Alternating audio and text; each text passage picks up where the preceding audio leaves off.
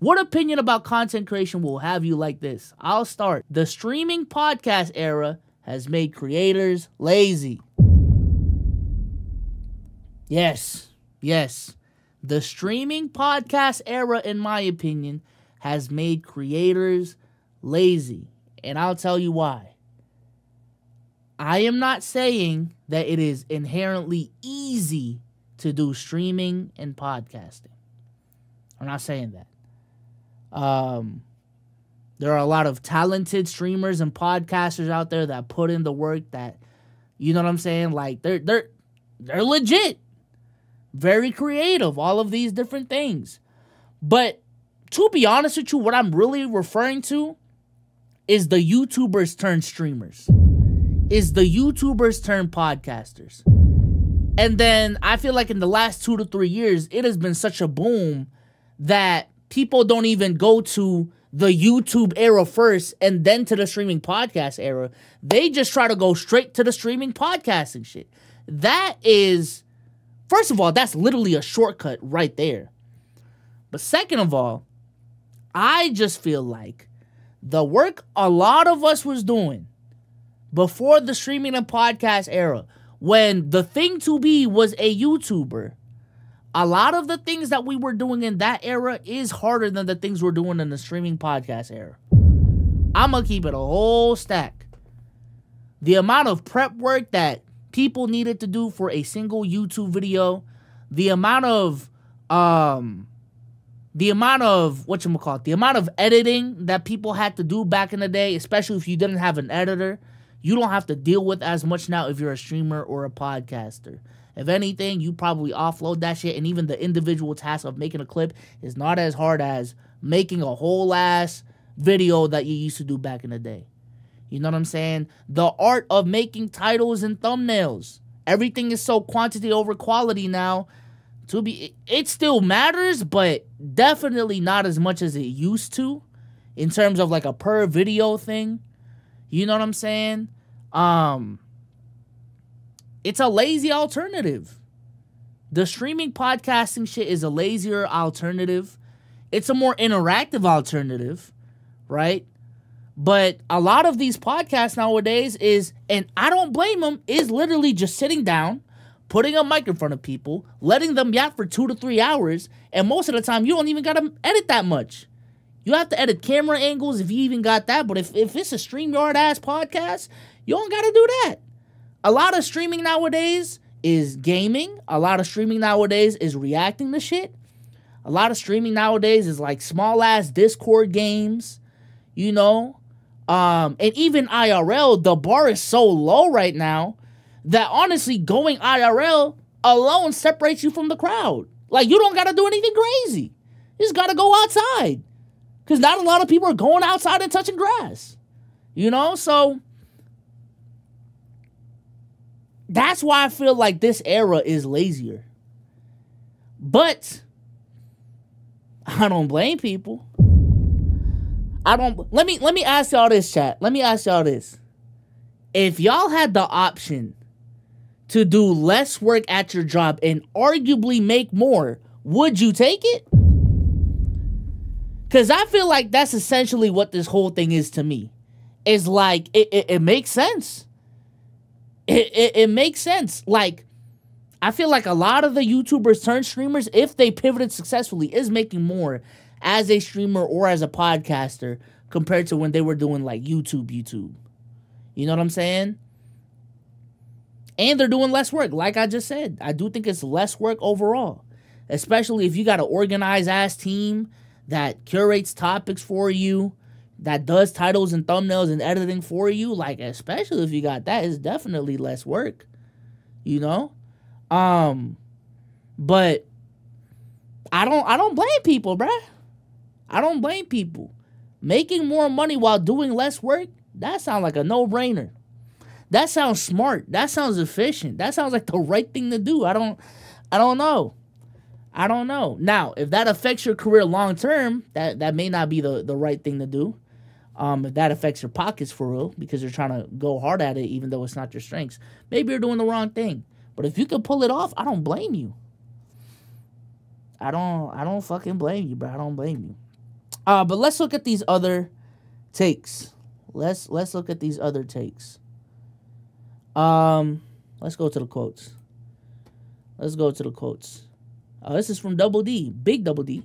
As much as big content creators say it isn't luck, it absolutely is a factor. However, if you're legitimately taking the steps to improve or provide something unique, you will eventually give yourself a way better chance. I 100% agree with Double D, man. 100% agree with Double D. Uh, we've had these conversations about how much luck is involved in content creation, and I've come to the conclusion that it definitely is a factor, but it's not an end all be all. And also, um, there is more skill that goes into being the content creator that you need to be. Like a lot of the things that you need to be uh to be a successful content creator, you can train up. To be honest with you. Um and ultimately, you are dealing with a program that's fucking programmed. Like you're you're dealing with a website that was programmed by someone mathematically to show you what videos to to uh to show you what videos you want to watch. So like there literally is math behind all this shit. But probability and luck kind of go hand in hand. Um, and if that's the case, I just feel like um, like luck luck is just involved and that's fine. Luck is just involved and that's fine. But I would also like to argue. Would y'all would let me let me ask y'all this chat. Can you be a skilled gambler? Can you be a skilled gambler? I feel like the the rhetorical answer would be yes, right? Like you can be a, a skilled gambler. It depends. Or is that like an oxymoron? Yep, yeah. Yes.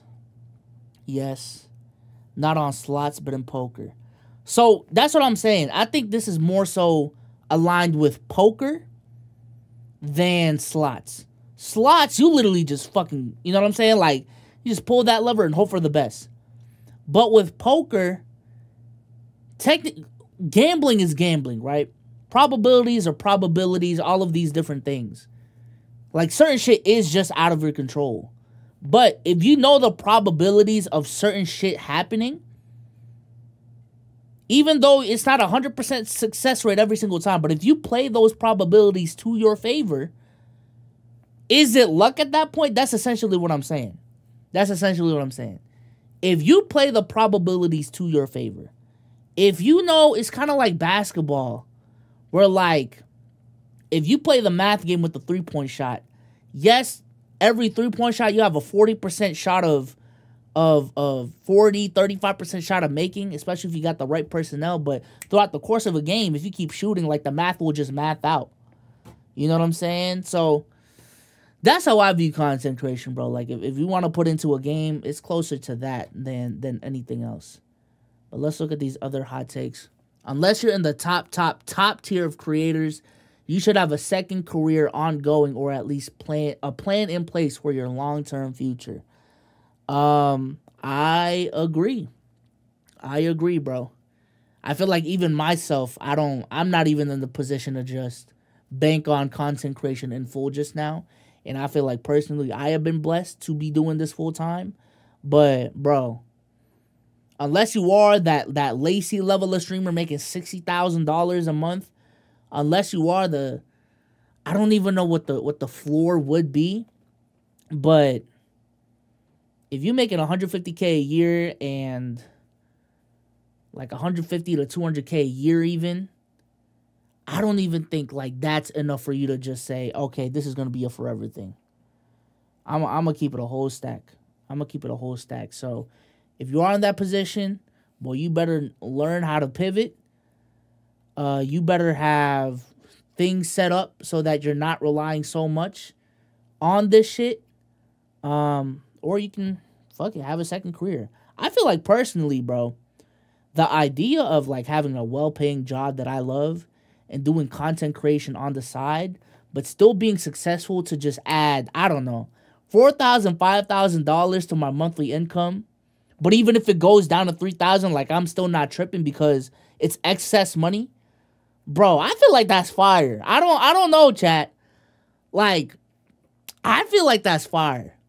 Having a side gig that gets you four or five thousand dollars, but you still have this main source of income, so that like, you know what I'm saying? Like if the side gig goes off, like you're you're chilling. I feel like that's fire, bruh. That looks like vacation money to me. That looks like money that you can just like use to to pay off fucking loans and pay bills off like with advancements. I don't know. I don't know. Uh, this is Alvini, Big Alvini. A lot of friends of the shows on here, man.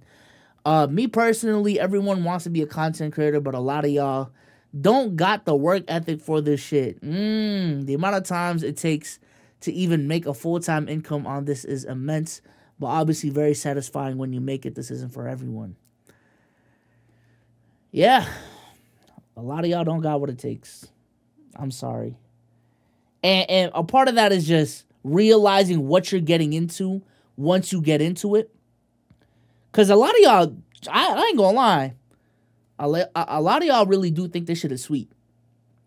But once I put a camera in front of your face, once I put a mic in front of your face, once I put a editing software in front of your face and Photoshop in front of your face, you are fucking freezing. You're freezing. Now, mind you, all of these different things from how you record to how to make a thumbnail to how to edit, all of these things are individual skills that people get paid high levels of money to do. But YouTubers got to do all that shit at once. Like that it's not easy. It is not easy at all, bro. Um y'all y'all just aren't at least at a full-time scale. I think that's the caveat in a lot of the things that I'm saying. A lot of the things that I'm saying is like what it takes to do full time. If you just literally just want to do this as a hobby, do whatever the fuck you want. You know what I'm saying? Do do whatever the fuck you want. Um upload every 2 weeks. Fuck it. But to do it full time, that's a that's a whole different conversation. All right, let's see. Oh, someone put this in the RDC community. Okay. Mukbangs are literally the most useless form of content ever. I never find it appealing to load up an hour long video of someone who just sits there and eats, especially the ASMR shit. Chat, how do y'all feel about mukbangs, man? How do y'all feel about mukbangs? No pun intended, W take. I feel like mukbangs is a form of ASMR, bro. I was watching a video today about this uh this girl on TikTok like blowing the fuck off off of mukbangs, getting like four or five mil off of her shit, and she's just eating like unedited ass fucking shit. She's just eating food, unediting it, and making bank off of it. I don't know. I don't I don't get the appeal unless it's like an interview fashion. Kind of like would y'all consider hot ones a, a form of mukbang? But like that type of shit. You know, uh hot ones, um what's that? What's that show with the the chicken show with the British lady and we we saw fucking uh Billie Eilish on there, like that type of shit. I mean, like Keith Lee type shit. I enjoy watching. If you're doing, I feel like food reviews are a completely different thing than a mukbang, though. Like I feel like a mukbang is like someone literally just getting food, eating in front of a camera, and just that being the content. You know what I'm saying? Or it's it's you eating in front of a camera and yapping about something completely different. I don't get it. I don't get it. Most useless form of content ever. Outside of do y'all think mukbangs are more useless than edits? Like doing edits of things? I don't know. I feel like it's definitely harder to do edits than mukbangs, but most useless? What do edits do, bro? I don't know. All right, let's see. There'll never be another PewDiePie or Mr. Beast type because there's no major monoculture in society anymore. Cook. There's YouTubers with millions of subs I've never heard of that that have been impossible in the early 2010s. Another PewDiePie or Mr. Beast. Another PewDiePie or Mr. Beast. We're talking about a creator that guns for that number one sub spot. Are we in the parody era, chat? Are we in the parody era of content creation, bro? Did y'all look? I, I watch a couple PewDiePie shits, but not too much. I disagree. Kai and Speed are on their way to marking a gen. Making a gen, marking a gen. I feel like I don't know, bro. Is Kai on his way to averaging a hundred million views a video? Is Speed on his way to how many subs has PewDiePie got, bro? Hold on. PewDiePie got 111 mil, chat. Let me see what Speed got. 27, 28? I think Logan Paul got more than Speed right now. Logan Paul got 23.6. 20. Okay, so Speed got more than Logan. Speed?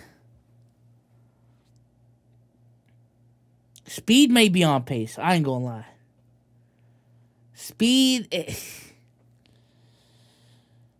the more global speed becomes, I definitely think like all of these things are helping them. I ain't gonna lie. Speed might be the guy. Speed might be him, man. I don't know. How many does KSI got? KSI got 16.3. Okay, so Logan's bigger than KSI. Speed is bigger than Logan Paul. PewDiePie, Mr. Beast, I think he got like 130 something. 111. 308. Oh my god.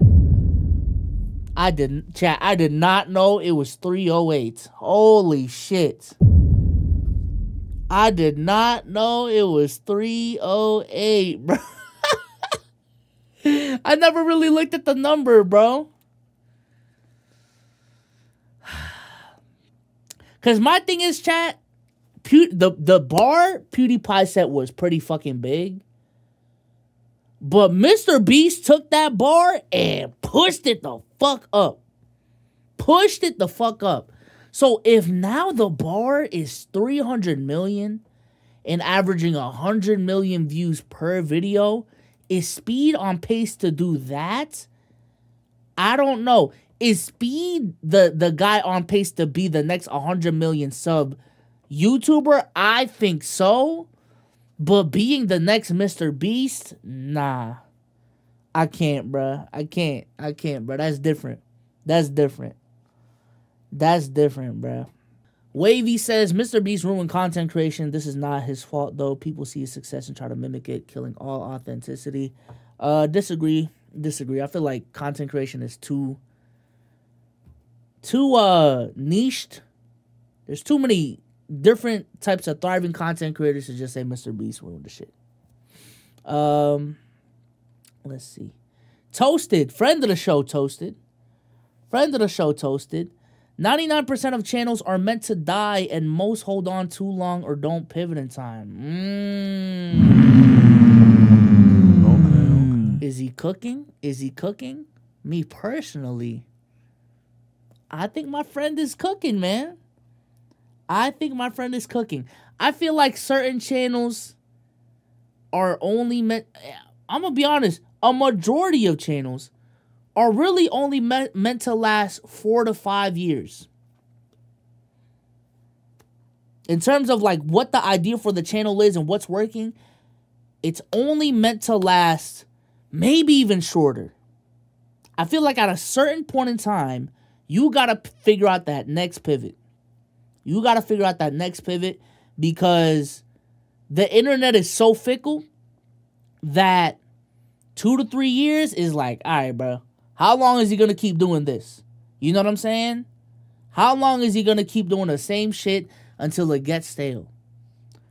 And I feel like the top content creators are really, really good at adapting their content, which I feel like live streaming definitely helps in that, and becoming a personality helps in that.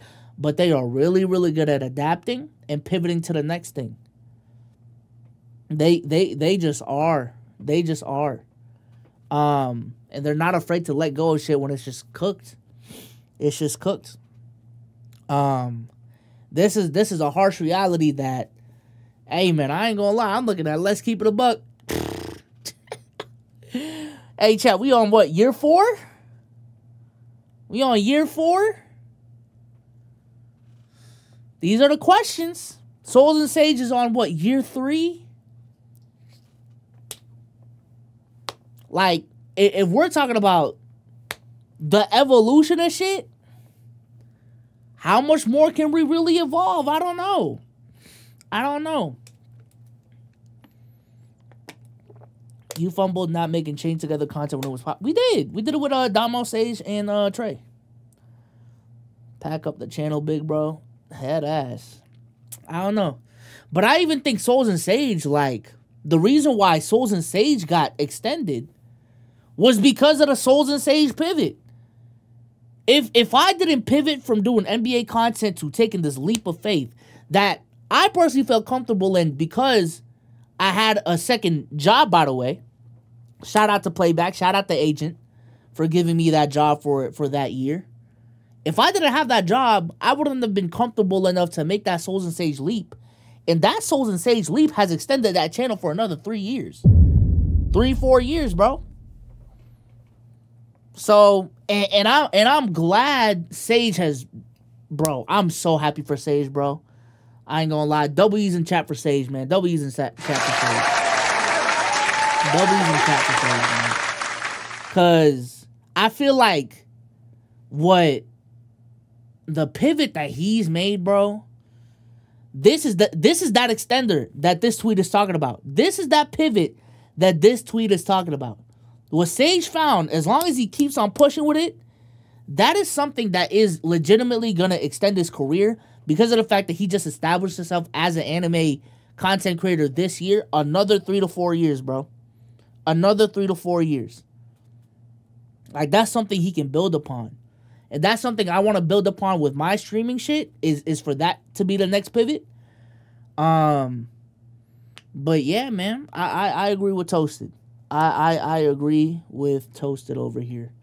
Obese fuck shouldn't have a platform. I told y'all, man. The internet and fat people. The internet and fat people.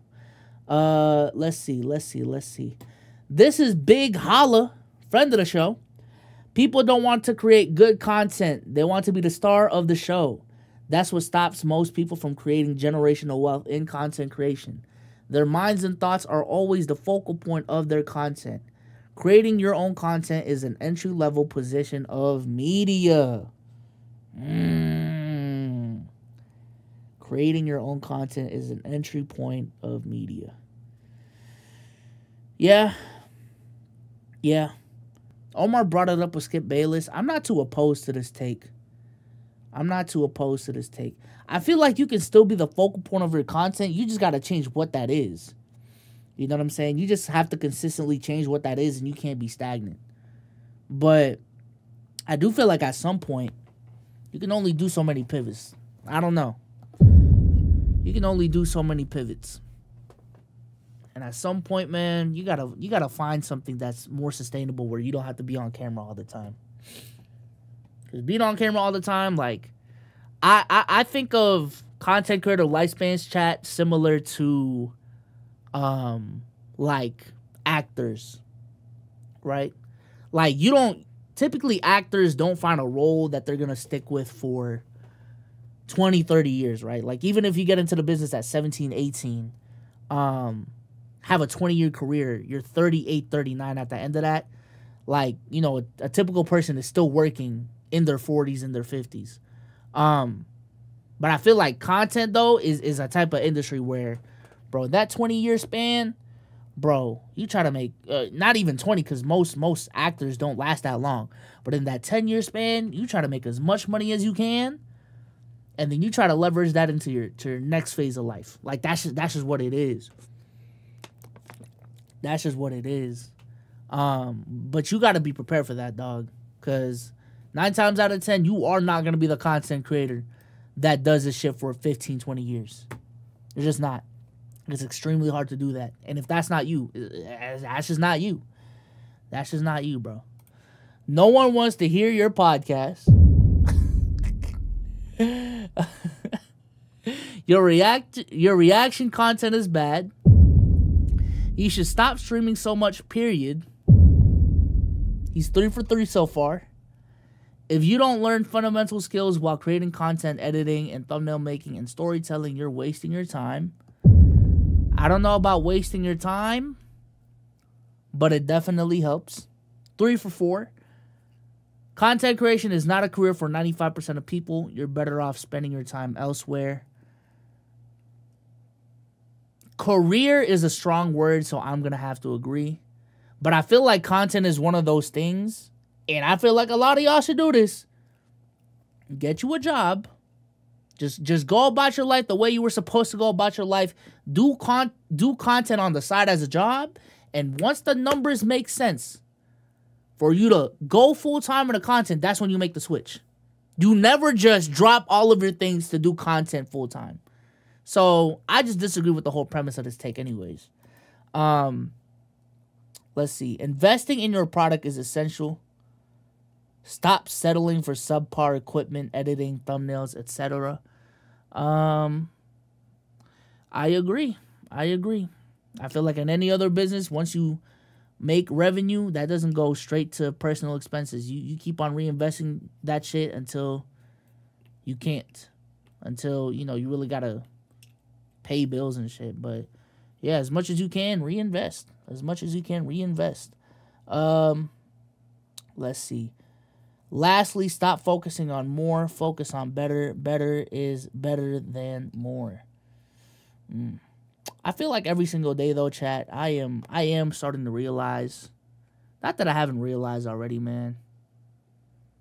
Quality is just over quantity, man. I I ain't gonna lie. I don't like every everything is just solved by at least on, in, in YouTube land, bro. Everything is just solved by making better content. Not more content, just like whatever you're doing right now, just do it better and the results will reap itself. Like uh, even even when it comes to streaming, you don't gotta stream more. Like if you're streaming three times a week, you don't gotta stream to four. You can do those three streams a week, but make sure when you show up to those three streams, you're bringing the energy. You know what I'm saying? You're you're coming in with a plan, like all of these different things, and then everything else will just kind of unfold itself, dude. Like even when it comes to music. You know, the, the guys who are making gimmicky ass music for for the quick bag, they're they're the they're the one hit wonders. They're the guys that only last a year or two. But the shit that really stays, the shit that really prevails, the shit that makes long lasting careers and diehard fan bases, at the end of the day, it's the quality shit, bro. It's it's I don't know, bro. Teach the people. I ain't gonna lie, bro. This Q and A got me wanting to make fucking creators create social packet again, man. I ain't. Jeez.